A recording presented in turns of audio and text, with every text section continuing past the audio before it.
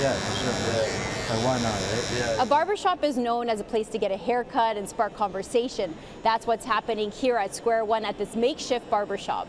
This makeshift barbershop was created by Canadian Blood Services, and it's unique because they offer haircuts, flowers, and a swab, hoping visitors will become a stem cell donor.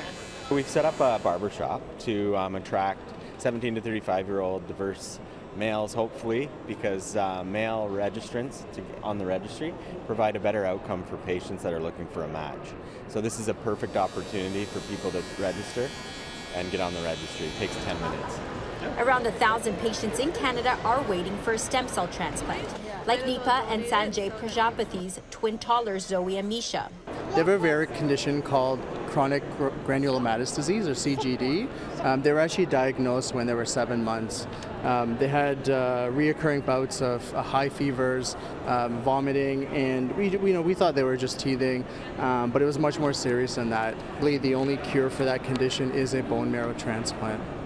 The twins' best match is someone of South Asian descent. Part of the challenge of finding a donor is that uh, only 7% of the registry, Canadian Blood Cell, uh, Stem Cell Registry, is of South Asian descent. Um, and we know the general population is much higher.